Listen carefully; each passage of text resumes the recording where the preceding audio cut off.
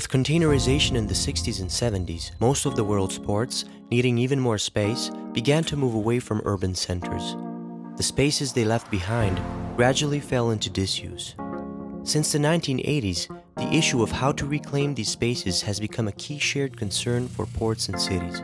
Ramiro Lopez, from the Port of Buenos Aires, explains how the city and port are responding to this challenge. El puerto de Buenos Aires, cuando nosotros llegamos a esta gestión, era un puerto con una imagen pésima, degradado. O sea, puerto Buenos Aires, la gente cuando uno pregunta en la sociedad dice, ¿qué te imaginas del puerto? Primero que lo asocia con la aduana, después que lo asocia con el narcotráfico, después lo asocia con villas, con abandono, con buques oxidados y abandonados y con todas connotaciones negativas. Toda esa zona está entre medio de lo que es la ciudad y el puerto y se está trabajando en revitalizarla y cambiar los usos.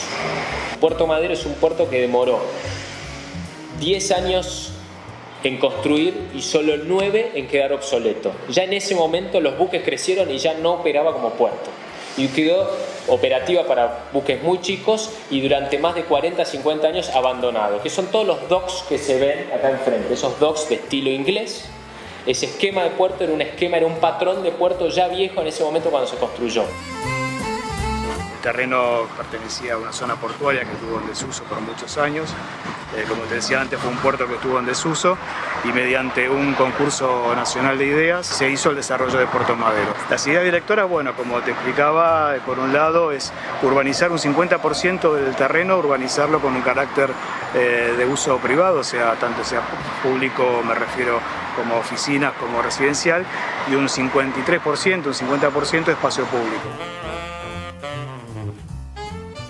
Este silo también es un edificio de valor histórico, está vendido pero está en un concurso de quiebra, con lo cual no se pudo construir nada todavía, pero tiene un dueño y la idea es este, hacer un lugar este, residencial. Y va a ser en principio ser un hotel o un albergue estudiantil. Here in Marseille, an ambitious urban regeneration project known as Euromediterranee was launched in the 1990s to renovate and rehabilitate the rundown area between the city and port. The redevelopment was designed to create a mixed-use space. It is now home to offices, housing, cultural spaces, shops, and the port activity. Un port aujourd'hui, c'est aussi accueillir des activités économiques. C'est réfléchir à l'utilisation optimale des espaces qui ont été par le passé très utiles, mais qui aujourd'hui ne sont plus tout à fait utilisés à plein. Dans ce port de centre-ville, toute une partie portuaire qui a été consacrée aux activités économiques, aux voies ferrées, aux friches industrielles. Là, ici, c'est un cratère, hein, un cratère. Là, là, là c'est des friches industrielles, des, quartiers arrière portuaires en déshérence. Et pourquoi? Parce que cette partie du port avait largement changé, n'était pas en grande prise. Euh, Marseille, c'est euh, une continuité en fait euh, entre la mer et la terre. C'est vraiment ça. Et aujourd'hui, on doit absolument retisser ces liens qui ont été perdus en fait entre la ville et le port. Donc nous prenons ce projet il y a 20 ans, puisqu'il est né il y a 20 ans, et l'objectif c'est de faire en sorte que nous recollions, si on peut dire, nous, nous réapproprions ces espaces qui sont en bordure du port. Il ne s'agissait pas de gagner du terrain sur le port, mais bien de faire que la ville recolle avec le port. Or, il n'y avait jusqu'à il y a 20 ans qu'une grande friche de quelques kilomètres de long sur quelques centaines de, de mètres de large, que ce soit le port vers la ville ou que ce soit la ville vers le port, cette opposition qui a pu exister il y a 50 ans ou il y a 30 ans, aujourd'hui n'a plus lieu d'être de toute façon. Donc il faut conserver la vocation du port, mais il faut l'aménager avec la vocation de la ville.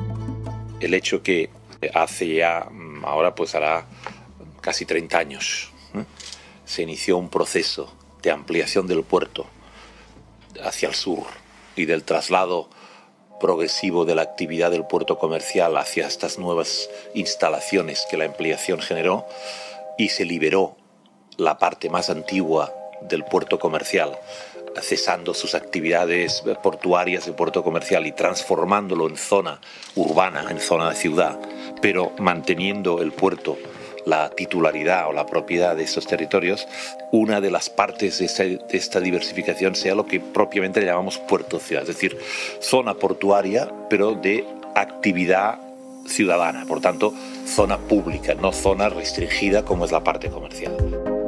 Questi erano spazi inaccessibili per i genovesi, c'era proprio laggiù in fondo un muro che chiudeva perché questo era uno spazio portuale operativo. Qui c'erano i binari che passavano. Porto Antico è un'operazione di riqualificazione urbano-portuale molto interessante, tant'è che viene studiata a livello internazionale. Perché? Perché era un, un porto che lavorava, poi quando sono arrivati i container negli anni 60 è stato necessario modificare gli spazi per l'utilizzo del porto e quest'area era rimasta vuota e abbandonata e grazie alla sapienza e alla bravura di Renzo Piano sono stati riqualificati questi spazi. Il fatto che Renzo Piano nella sua operazione di riqualificazione abbia deciso di lasciare quelle gru e alcuni altri elementi e abbia creato questo ascensore panoramico sorretto da questa struttura bianca che noi chiamiamo Bigo è proprio per far sì di non far dimenticare l'anima di questo posto che per centinaia d'anni è stato il centro storico del porto e il centro delle attività dell'economia marittima che ha fatto grande la città.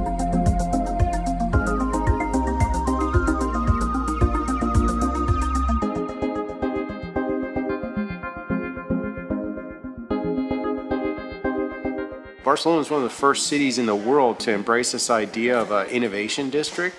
what we're seeing is migration of innovation into cities. And Barcelona was one of the first to recognize look, this whole old view of port cities as being like industrial and receiving raw material and, and producing, lo- uh, producing for export again was moving away. And they made this major investment in this former industrial area, Poblenou in Barcelona, to convert it from basically it was. Um, it was an area of the city that had become like decrepit and was worn down like many port cities have experienced in their former industrial area warehouses that are no longer in use and factories and they decided to make a major investment in actually turning it into an innovation community where like digital technical energy um, new economy innovation uh, with accelerators for startups and bringing in digital uh, technology companies to collaborate and universities to co-create new innovations.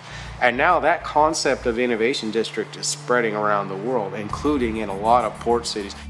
Past 10 or uh, 30 years, you see, see, a lot of architects and, and changing of, of the way of waterfront developments occur. But the port was out and the city went in. That's my model.